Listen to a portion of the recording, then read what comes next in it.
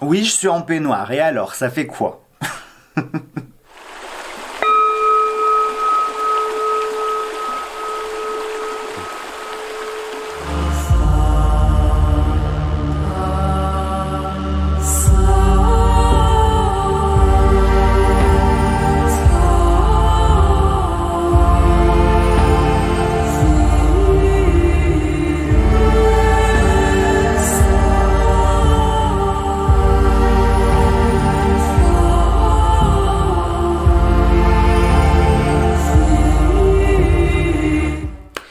chers amis, bonjour à tous et merci de me retrouver dans cette nouvelle vidéo pour faire nos énergies de fin de semaine. Donc, euh, jusqu'à la fin de la semaine. si vous me suivez, vous savez quel jour c'est et quand est-ce que ça tombe la fin de la semaine. Allez, j'espère que vous allez tous bien, que vous êtes tous en forme, que euh, ce début de semaine a bien commencé. Oui, j'ai retrouvé mon sourire, mais je ne l'avais pas perdu, rassurez-vous. Vous savez bien, quand on est youtubeur, il faut faire des vidéos comme ça, putaclic, qui font le buzz, qui, hein, avec des titres racoleurs, je ferme ma chaîne, c'est fini, je me suicidé. non, mais non, mais je l'ai pas fait dans ce sens-là. Oh, mais laissez-moi parler au lieu de m'agresser comme ça. Non, je l'ai pas fait dans ce sens-là. Je l'avais fait surtout pour euh, parce que comme je vous l'ai dit, j'avais besoin de faire un bilan et puis j'avais aussi besoin de parler et puis de rectifier certaines choses parce que il faut quand même dire ce qui est, mais dans le l'univers, hein, le microcosme de YouTube, tout est fermé. On ne parle pas de sous, on ne parle pas de. Eh ben si, il faut en parler. Il n'y a pas de raison. Hein, voilà. Donc euh, moi j'ai toujours joué la transparence et je continuerai ainsi.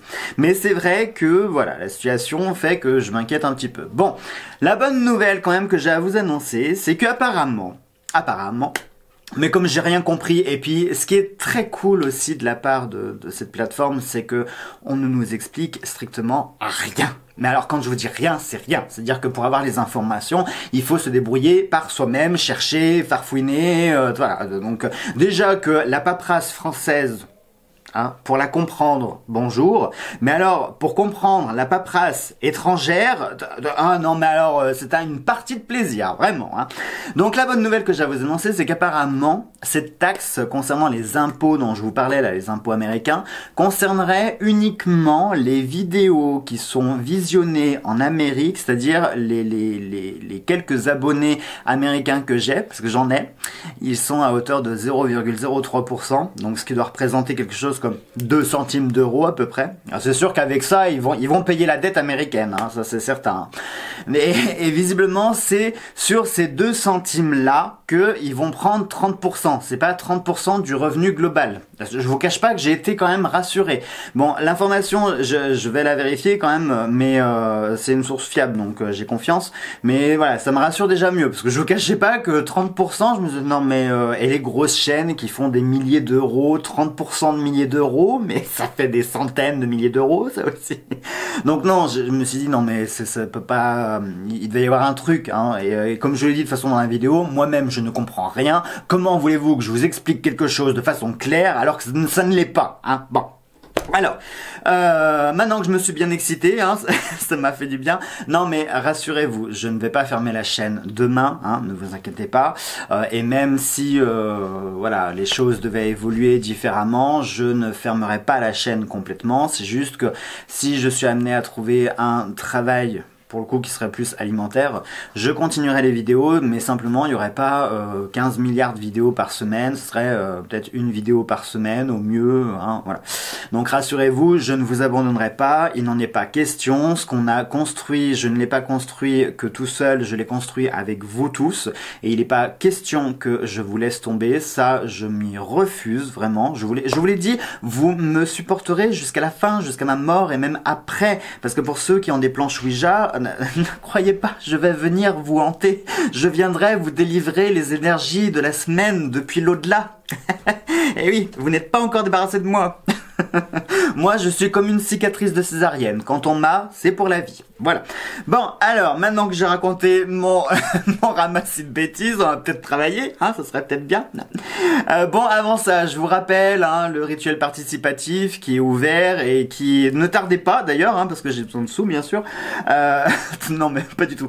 Bon, euh, je vois, on est le 6 avril, donc euh, il reste, oh, mais il reste, il reste que 10 jours avant le rituel, les amis, là. Hein, il va falloir y aller, là, hein, pour les inscriptions. Donc, pour vous inscrire au, rituel participatif, c'est très simple, hein, vous allez sur ma petite PayPal avec soit mon adresse mail œil dans le noir gmail.com tout en minuscule, tout attaché.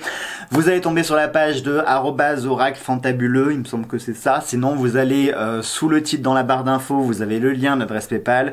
Les petits 5 euros entre proches et pas entre professionnels, sinon PayPal prend des frais. Hein, je vous le dis, je vous le redis à chaque fois.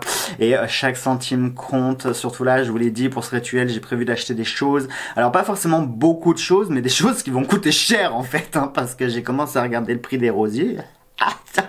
Alors on en trouve des pas très chers, mais je veux pas non plus de, un rosier qui vient d'AliExpress. Hein. J'aimerais un truc quand même qui tienne la route, qui tienne dans le temps aussi, hein, parce que quand même il s'agit de vous, il s'agit de vos vœux, de vos souhaits, donc euh, j'aimerais quelque chose qui tienne la route. Hein, voilà. Puis j'ai prévu euh, le terreau, de l'engrais, un gros pot, etc. et toutes les fournitures qu'il me faut pour le rituel. Donc euh, chaque centime est compté. Voilà. Vous me mettez bien votre nom, votre prénom, hein, ça c'est assez utile pour faire rituel quand même, et surtout, surtout votre souhait, hein, parce que ça va compliqué là aussi si je ne l'ai pas. Donc quand vous mettez vos 5 euros, vous joignez bien votre nom, votre prénom et votre souhait. Et quand je dis votre souhait, c'est vraiment la chose que vous souhaitez le plus pour 2022. Vous me faites pas une tartine, hein. je veux perdre 20 kilos, je vais être, euh, je veux avoir une augmentation, euh, je veux avoir euh, un amant pour ce week-end. Non, vous me mettez pas ces trucs-là. Vous me mettez vraiment le truc qui tient le plus à cœur. Excusez-moi, je suis en train de parler du nez, j'ai pas pris de mouchoir en plus, c'est très bien, je me moucherai dans mes cartes, ça fera l'affaire. Bon, euh, et puis voilà, euh, j'oublie rien, non, parce que je, dis des bêtises et à force je me déconcentrer tout seul et je vais dire n'importe quoi. Non, euh, normalement, je vous ai tout dit. Euh, concernant aussi la vidéo d'hier, j'ai lu attentivement vos commentaires et, euh, j'ai pas encore lu les futurs parce que je pense qu'il va y en avoir d'autres qui vont arriver, mais je tiens à vous remercier du fond du cœur, vraiment, ça m'a, vous n'avez pas idée à quel point ça, ça m'a fait du bien là ici, là, ça m'a fait une petite, une petite chauffe là dans le cœur. Et surtout, il y a eu plusieurs commentaires qui m'ont interpellé parce que vous m'avez suggéré des idées que j'ai trouvées franchement et très sincèrement brillantes et que j'ai envie de développer. Vous m'avez donné envie de les développer, euh, comme par exemple il y avait euh, la potion du mois, la pierre du mois, etc., etc. Des, plein de petites choses comme ça que j'ai trouvé mais euh, extraordinaires et qui permettraient de faire des petites vidéos, pas forcément très longues, des choses simples et qui permettraient de pouvoir eh bien développer la partie soins. Surtout que souvenez-vous, il y a plusieurs mois, j'avais commencé la partie bien-être, la partie soins avec euh, le parfum maison, les cosmétiques maison, tout ça.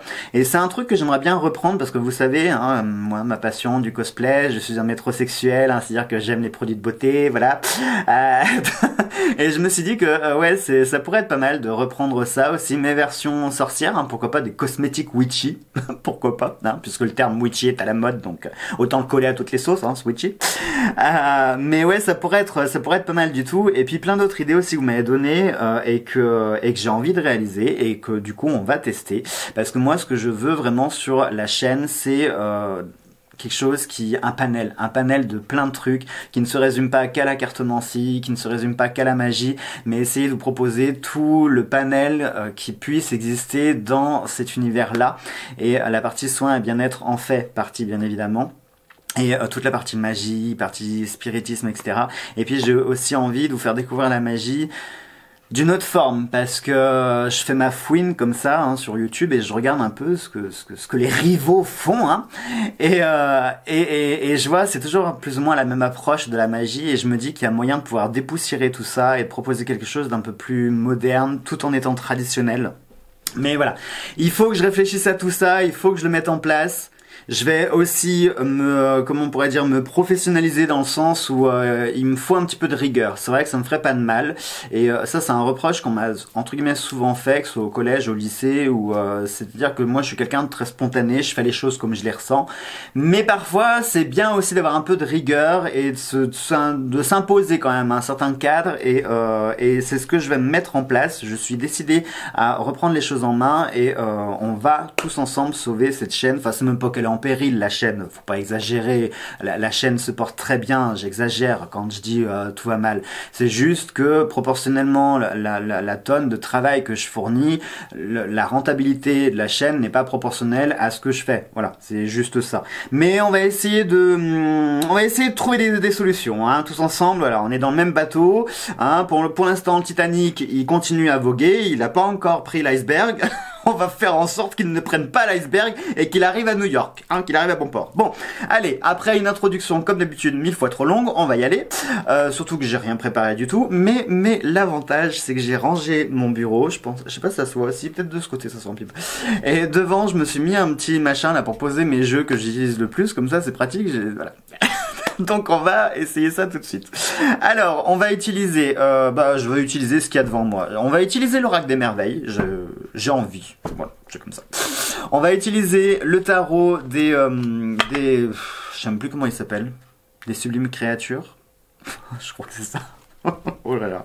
Oh là là. Oh, le gars en carton, sérieux.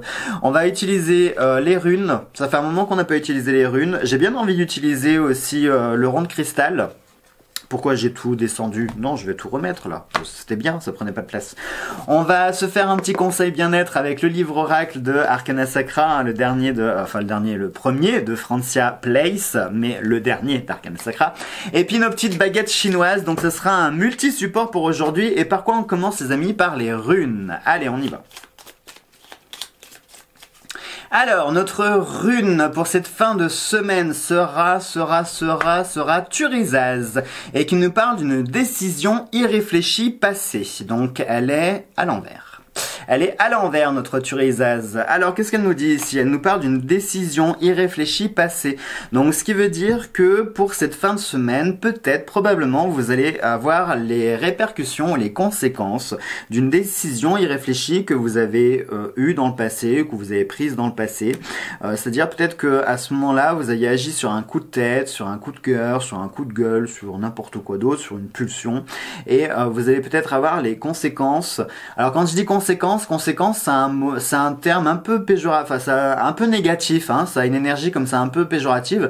Euh, ça peut être quelque chose de positif, c'est-à-dire que si vous aviez agi sur euh, à l'instinct sur une pulsion, sur une envie, et que eh bien vous avez euh, réussi à fleurer le poisson et que bah, en fait c'était une affaire juteuse, mais que ça a mis un petit peu de temps avant de se développer en affaire vraiment euh, providentielle. Voyez, donc ça peut être une conséquence positive, d'accord hein Les décisions irréfléchies passées, c'est pas foncièrement négatif, ça peut être quelque chose de positif. Hein si parfois on arrive au bon moment, au bon endroit avec la bonne personne, qu'on agit tout de suite, qu'on se positionne immédiatement, eh bien ça peut rapporter euh, parfois ça peut rapporter gros. Donc pour cette fin de semaine, vous allez certainement récolter probablement euh, les conséquences positives ou négatives d'une décision irréfléchie passée.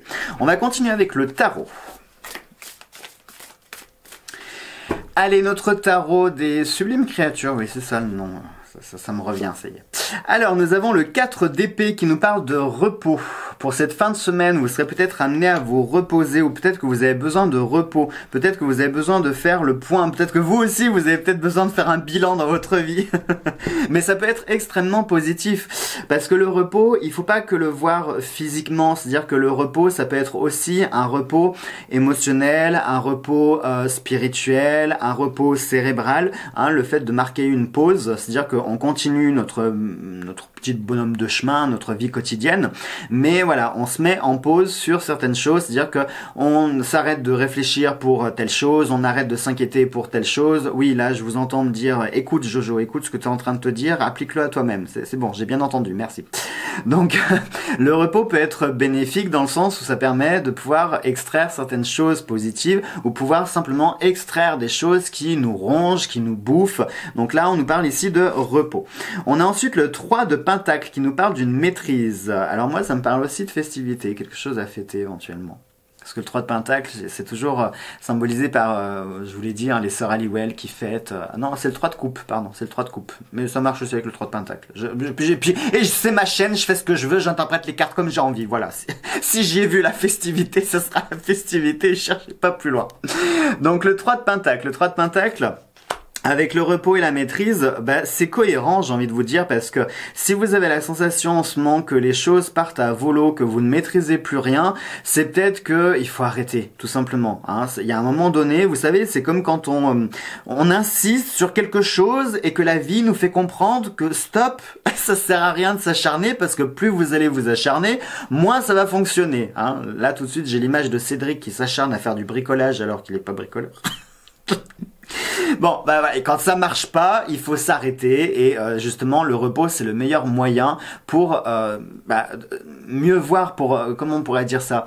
Pour prendre, euh, j'allais dire le repos, c'est redondant, pour prendre la pause nécessaire qui va vous permettre d'une part de vous calmer, de réfléchir, de relativiser, de redescendre en pression, hein, et euh, de vous dire tout simplement, mais je m'énerve pour ça, ou j'y ai attribué de l'énergie, ou ceci ou cela, alors que non. Donc pour moi ici, le repos et la maîtrise sont directement liés. Il faut impérativement que vous imposiez une pause, un repos, que ce soit physique ou émotionnel ou spirituel ou peu importe quoi, mais il faut que vous preniez un temps de repos sur ce week-end, sur cette fin de semaine pour reprendre la maîtrise des choses. Hein, si vous sentez que ça vous échappe, euh, arrêtez.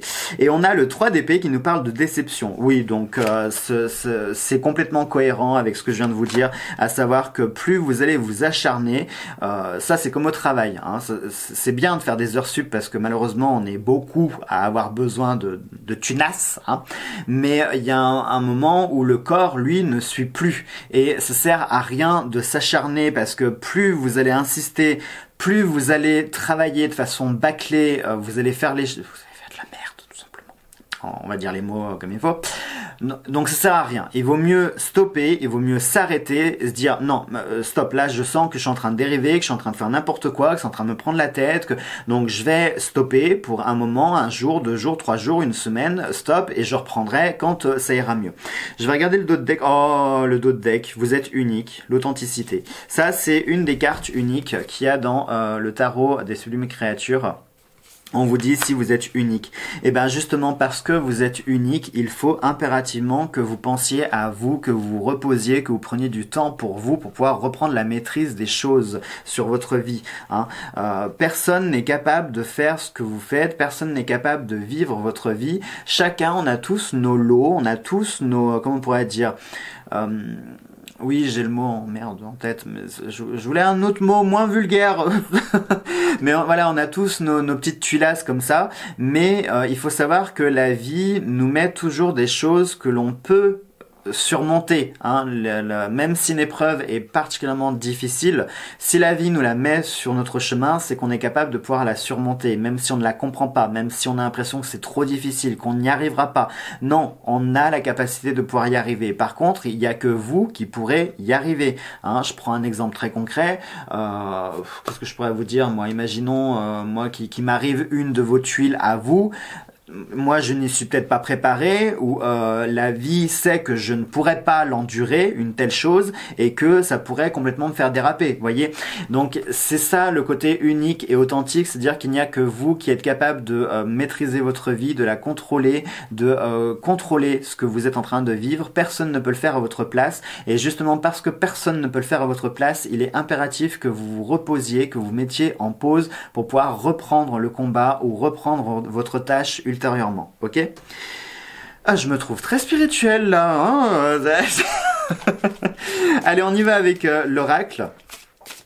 Vous le voyez pas là en caméra, mais euh, je suis submergé de violet. Entre euh, ici l'oracle des merveilles, le livre à côté, le tarot qui est quand même dans une dominante de violet, mon tapis, je, baigne dans le violet. C'est peut-être ça qui me rend très spirituel, hein, parce que le violet est connu pour être une couleur particulièrement spirituelle. C'est le chakra couronne aussi, hein, c'est le dernier. Alors, notre oracle des merveilles va nous dire, il va nous dire quoi? Il va nous dire le livre euh, qui nous parle de l'imagination libératrice. Et je trouve que ça colle tellement bien avec ce qu'on vient de tirer avec le tarot. Le livre pourrait aussi symboliser tout de suite, je suis en train d'y penser, ça pourrait nous parler, pourquoi pas, de papier administratif, ça pourrait nous parler de formation, ça pourrait nous parler d'apprentissage, peut-être que vous allez être amené pour cette fin de semaine, peut-être que c'est ça la décision irréfléchie passée, peut-être que vous aviez envoyé un dossier ou vous aviez, vous aviez peut-être formulé une demande pour une formation, un truc comme ça, peut-être quelque chose que vous aviez oublié, et peut-être que vous avez la réponse de ce truc. Pourquoi pas Si c'est positif, je vous le souhaite en tout cas. Euh, le livre donc nous parle de l'imagination libératrice et ça colle bien avec le repos, puisque le repos, spontanément, qu'est-ce qu'on fait quand on est en repos? On va profiter, donc on va regarder euh, des films, des séries, lire, partir se balader, faire des choses que l'on aime, des choses qui sont apaisantes, qui nous reposent, qui nous font du bien à l'esprit, au moral, etc. Et euh, le livre, il y a cet aspect aussi de s'échapper. Donc peut-être que pour cette fin de semaine, vous allez être amené à pouvoir vous échapper ou vous allez devoir vous échapper. Hein. Alors attention, pas vous réfugier mais plutôt vous échapper, vous évader. Peut-être que vous allez littéralement partir euh, en week-end, pourquoi pas? Franchement, je vous le souhaite, ça fait du bien un petit week-end comme ça. Il n'y a pas besoin d'avoir beaucoup de sous, il n'y a pas besoin de partir très loin. Hein. Euh, une petite auberge à 20 balles la nuit, euh, en campagne, tout ça, c'est reposant. C'est à 30 km de la maison et hop, on a l'impression d'être en vacances, de faire autre chose. Et c'est important pour le moral parce que il faut comme ça avoir dans la vie des petites coupures, des choses ponctuées qui font un peu penser aux vacances et qui nous coupent de notre quotidien parce que c'est le meilleur moyen de pouvoir, quand on revient à la réalité, on revient plus énergisé, un, peu mieux reposé parce que quand on se repose chez soi, on se repose pas vraiment chez soi parce que chez soi, on pense toujours à un truc. Et puis il suffit que le voisin il se mette euh, à faire du bricolage, qu'il fasse du bruit et machin et bidule. Donc quelque part, on, on se repose pas toujours quand on est chez soi, mais quand on, est ailleurs, que ce soit chez des amis, que ce soit ailleurs dans un hôtel, une auberge, en camping, n'importe quoi, un petit week-end comme ça, eh bien ça fait vraiment une coupure. Et pour l'esprit, c'est important parce que notre cerveau il va vraiment savourer les moindres minutes qui vont euh, se passer. Et c'est psychologique, mais on se dit qu'on est loin aussi, on est loin des problèmes, on est loin des factures, de la boîte aux lettres et tout ça. Donc du coup, c'est psychologique, on arrive mieux, enfin je, je sais pas pour vous, mais je parle pour moi en tout cas, je sais que dès que je suis loin de la maison, je sais que euh, personne peut m'avoir. ni les factures, ni les huissiers, ni personne, personne peut m'avoir. Et personne sait où je suis en plus. Et du coup, bah, ça me permet de pouvoir vraiment me couper avec euh, le, le monde réel, le temps d'un week-end, d'une semaine, enfin d'une semaine. Que dis-je? Que dis-je? Une semaine, voyons, mais c'est dans mes rêves que je pars une semaine. Allez, on a les fleurs avec le chant du pardon. C'est dingue, on a, on a la notion de pardon, je trouve, qui est vachement présente ces derniers temps. Vous avez remarqué que dans, dans toutes les vidéos, là, les dernières vidéos que j'avais faites, la notion de pardon était assez, euh, était assez récurrente. Donc on a encore ici, peut-être que, moi je pense que c'est ça là pour le coup. Hein. Je pense que c'est ça. Il faut impérativement que vous pardonniez de quelque chose quoi, je ne sais pas. Il faut que vous déculpabilisiez de quelque chose. Euh, peut-être que c'est ça aussi dont vous avez besoin dans ce repos. C'est peut-être faire un point sur vous et euh, vous pardonner pour euh, quelque chose, quelque chose que vous avez fait ou quelque chose que vous faites ou que vous ne faites pas, je ne sais pas. Mais il y a vraiment ici le fait de s'évader et c'est dans cette escapade que vous allez pouvoir trouver un repos qui vous permettra de pouvoir vous pardonner, vous déculpabiliser de quelque chose. C'est super profond comme message là. Hein. Et on a la Vorpal qui nous parle du jouet macabre. Et tout de suite, ouais, ça me parle de couper. Surtout qu'en plus, euh, la Vorpal sort tout de suite derrière les fleurs. Et j'ai l'aspect justement de trancher les fleurs, de couper net. Hein, vraiment de. Pourquoi j'ai l'expression euh, couper l'herbe sous le pied ou enlever l'épine du pied? Il y a le fait de ôter quelque chose, d'enlever quelque chose, quelque chose qui est peut-être gênant. Je sais pas, c'est bizarre, excusez-moi. Euh, en d'autres dettes, que j'ai la dent avec la sagesse des mots. Donc oui, la dent, euh, ça nous parle effectivement, ça peut nous parler de quelque chose lié à la santé, donc il est impératif que vous preniez du temps pour vous, parce que peut-être que votre santé commence à en pâtir, ça peut être ça. Euh, ça peut nous parler la dent, euh, la sagesse des mots, la sagesse au sens propre du terme, c'est-à-dire qu'effectivement, il est temps pour vous, vous n'êtes peut-être plus en capacité de faire le point ou de voir les choses de façon objective, et il est temps de marquer une pause pour retrouver cette forme de sagesse. Hein. Allez, on va, on va, on va, on va, on va, continuer avec euh, le, petit rond de cristal. Allez, c'est parti, on va s'en prendre, j'en sais rien, on va en prendre deux, trois, on verra. Une grande abondance. Et eh ben voilà les amis, ça c'est quelque chose de très positif. Donc peut-être que cette prédiction répond à la rune quand je parlais d'une décision irréfléchie passée et que parfois on peut flairer le poisson et que ça peut rapporter gros plus tard on a une grande abondance ici. Hein. Je sais pas si vous avez remarqué, on a quand même des cartes qui sont positives. On n'a pas des choses spécialement négatives. Donc potentiellement, on peut se dire que la rune qui est sortie là, ça pourrait être la réponse d'un placement ou de quelque chose qui va s'avérer être euh, fructueux. J'ai failli inventer un mot encore. On a un enfant on a un enfant. Alors peut-être que pour ce week-end, il y a quelque chose qui est lié avec un enfant, votre enfant, votre petit enfant, votre neveu, votre nièce, j'en sais rien, un enfant que vous allez trouver dans la rue, que vous allez, euh, que vous allez adopter, je sais pas. ça peut être plusieurs enfants. Mais il y a quelque chose ici en lien avec un enfant. Ça, pourquoi pas? Ah Pardon. Je suis en train de penser, d'un coup, ça m'a fait un flash. Euh, mais d'un coup, j'ai pensé la décision irréfléchie passée euh, avec l'enfant. Hein, vous voyez où je voulais, où je veux en venir là? C'est-à-dire que peut-être, peut-être, euh, mais euh, peut-être que certains d'entre vous vont apprendre une nouvelle par rapport à un enfant parce que vous n'avez, vous ne vous êtes pas protégé quand il le fallait. Hein. vous avez été comme ça soumis par vos pulsions et boum, neuf mois après, c'est arrivé. Et c'est une décision irréfléchie passée. c'est marrant. Si c'est ça, franchement, il y a de l'humour, mais euh, euh, c'est marrant. On a une personne bienveillante. Bon, bah écoutez les amis, on va s'arrêter là parce qu'on a des cartes qui sont très positives. Je regarde, je regarde le dos de deck. Non, il est pourri, accident léger, donc on ne le prend pas. si on le prend quand même. mais accident léger, mais c'est drôle parce qu'accident léger, décidément, ça vient renforcer l'idée ben, d'un accident de parcours. Hein. Un soir, on avait un peu bu et puis voilà.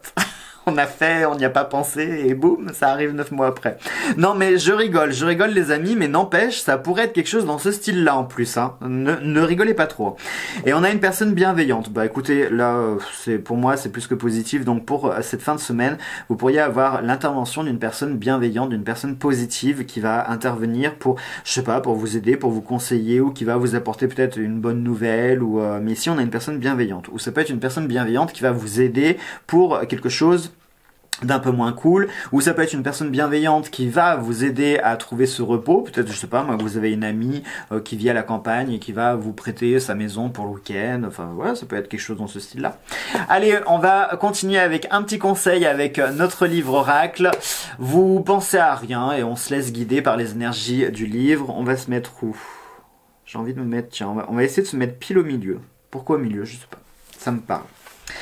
Alors, on a un conseil qui nous dit vous n'avez rien à prouver à personne si ce n'est à vous-même. Ne faites pas les choses dans l'espoir d'être reconnu, remercié ou adulé, votre quête serait vaine. Dépassez-vous pour vous assurer que vous êtes au niveau que vous pensiez, pour atteindre l'objectif qui vous tient à cœur, ce rêve que vous caressez depuis longtemps, ce but qui vous rendra heureux, vous avez toutes les chances de réussir.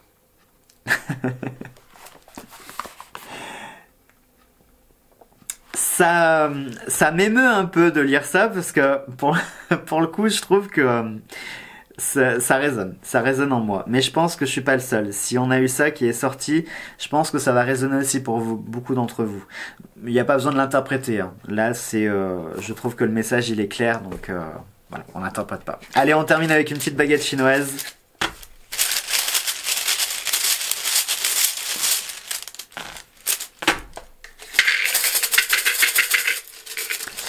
Et on a, on a la 11. La 11. Qu'est-ce que j'ai fait de mon livre? Ah, il est là. Alors, la 11, c'est au début, hein, oui, bah oui. Euh, 11, ça vient avant 12 en principe. Alors, si vous vous concentrez sur votre vie de famille plutôt que sur votre travail, cette période peut être très florissante pour vous. Vous n'avez pas besoin de trop vous inquiéter de votre travail car les choses auront tendance à bien se passer quoi que vous fassiez. La véritable bonne fortune vous viendra de votre famille et de vos amis. C'est une période très prospère si vous vous... Pardon, vous allez jamais me croire. Si vous voulez des enfants, vous les aurez probablement. Et quels que soient vos investissements et vos possessions, ils vous rapporteront. Ah non, mais c'est incroyable, là. Franchement, allez, je mets pause parce que là, il faut, il faut le relire, tout ça. Non, mais, écoutez, mais, euh, non, mais c'est, c'est fou.